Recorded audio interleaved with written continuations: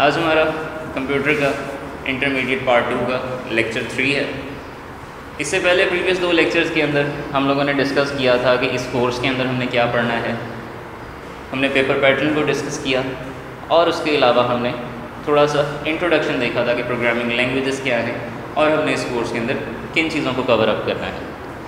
आज हम प्रॉपर जो है, अपने टेक्स्ट को स्टार्ट करते हैं। आज सबसे पहले हमने दो चीज़ों को डिस्कस करना है। प्रोग्रामिंग लैंग्वेज की बेसिक दो कैटेगरीज एक हाई लेवल लैंग्वेज जो आपको इस तरफ़ नज़र आ रही होगी, और दूसरी लो लेवल लैंग्वेज जो आपको मेरे लेफ़्ट साइड पे नज़र आ रही होगी। प्रोग्रामिंग लैंग्वेज क्या चीज़ है? प्रीवियस लेक्चर में भी हमने डिस्कस किया था। कि प्रोग्रामिंग लैंग्वेज क्या है? कंप्यूटर को इंस्ट्रक्शंस देने के लिए जो लैंग्वेजेस या जो सेट ऑफ़ रूल्स इस्तेमाल किए जाते हैं, उन्हें हम प्रोग्रामिंग लैंग्वेज कहते हैं। प्रोग्रामिंग लैंग्वेज आपके पास दो कैटेगरीज में है हाई लेवल और लो लेवल इनकी डिवीज़न इस तरह से की गई है कि कुछ लैंग्वेजेस जो हैं, जो एक कैटेगरी है, वो हमारे लिए यानी कि इंसानों के लिए समझना मुश्किल है, लेकिन कंप्यूटर या मशीन उनको एज इट इज़ नहीं समझ सकती। जबकि जो दूसरी कैटेगरी बनाई गई है, उसमें वो लैंग्वेजेस आ जाती हैं जिनके कंप्यूटर के लिए समझना ईजी है, लेकिन इंसान के लिए समझना ईजी नहीं है। इंसान को उसके समझने के लिए काफ़ी ज़्यादा एफर्ट करनी पड़ती है। तो सबसे पहले हम हाई लेवल लैंग्वेजेस की बात करते हैं। High level languages are those languages which are close to human language and far from machine language अब हाई लेवल लैंग्वेजेस कौन सी हैं? ये वो लैंग्वेजेस हैं जो ह्यूमन लैंग्वेज के पास हैं, लेकिन मशीन लैंग्वेज से बहुत दूर हैं। अब ह्यूमन लैंग्वेज का तो हमें पता है कि जिस लैंग्वेज में हम और आप बात करते हैं दूसरे मशीन लैंग्वेज कौन सी है? मशीन की लैंग्वेज होती है ज़ीरो और वन की, यानी कि बाइनरी फॉर्म में। मशीन को आपको कोई भी इंस्ट्रक्शन देनी पड़ती है तो वो आपको ज़ीरो वन की फॉर्म में देनी पड़ती है, या फिर आपको कोई ऐसा मैकेनिज़्म यूज़ करना पड़ता है, जो आपसे आपकी लैंग्वेज में इंस्ट्रक्शंस ले और उसे कन्वर्ट कर दे मशीन लैंग्वेज में, ताकि कंप्यूटर उसे समझ सके और उस इंस्ट्रक्शन पे काम कर सके। आपके पास हाई लेवल लैंग्वेज की बहुत सारी एग्जांपल्स आ जाती हैं, जिसमें C C plus plus C sharp Java Fortran ये कुछ मैंने यहाँ पे एग्जाम्पल्स लिखी हैं। इसके अलावा भी बहुत सारी हाई लेवल लैंग्वेजेस हैं। अब कंप्यूटर क्या करता है? हमने डेफिनेशन में तो ये बात कर ली कि इन लैंग्वेजेस को कंप्यूटर के लिए समझना आसान नहीं है बिल्कुल भी। हमारे लिए समझना आसान है। क्यों? इस लैंग्वेज इस लैंग्वेज के अंदर जो आप इंस्ट्रक्शंस लिखते हो, वो कुछ इस तरह से लिखी होती हैं, जैसे कि इंग्लिश की स्टेटमेंट्स होती हैं इंग्लिश के वर्ड्स होते हैं। जिनको आप काफ़ी ईजीली समझ सकते हैं। यहाँ पे हमने चार एग्जाम्पल्स लिखी हैं इसकी, बल्कि पाँच हैं। सी सी प्लस प्लस सी शार जावा फोर्ट्रॉन इसके अलावा भी आपके पास बहुत सारी, जैसे कि पास्कल है कोबोल है पाइथन है, बहुत सारी लैंग्वेजेस आ जाती हैं। तो हम बात कर रहे थे कि अब कंप्यूटर किस तरह से समझता है। हम किसी हाई लेवल लैंग्वेज में कोड लिखते हैं और वो कंपाइलर को दे देते हैं। कंपाइलर एक ऐसा प्रोग्राम है जो हमसे हाई लेवल लैंग्वेज का कोड लेता है और उसे कन्वर्ट कर देता है मशीन लैंग्वेज के अंदर।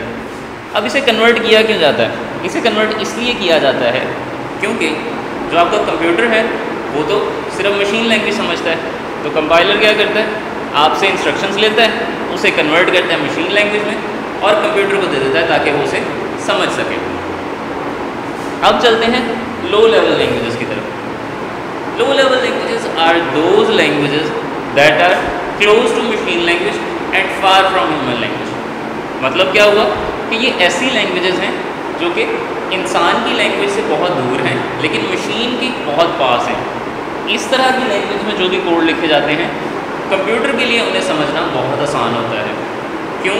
क्योंकि ये कोड ऑलरेडी ज़ीरो वन की फॉर्म में या असम्बली की फॉर्म में लिखे जाते हैं। लो लेवल लैंग्वेज को फर्दर दो कैटेगरीज के अंदर डिवाइड किया गया है।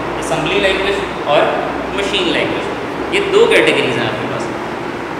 मशीन लैंग्वेज तो प्योर मशीन कोड होता है, जो कि बाइनरी फॉर्म में होता है, यानी कि प्योर ज़ीरो वन की फॉर्म के अंदर जो कोड है.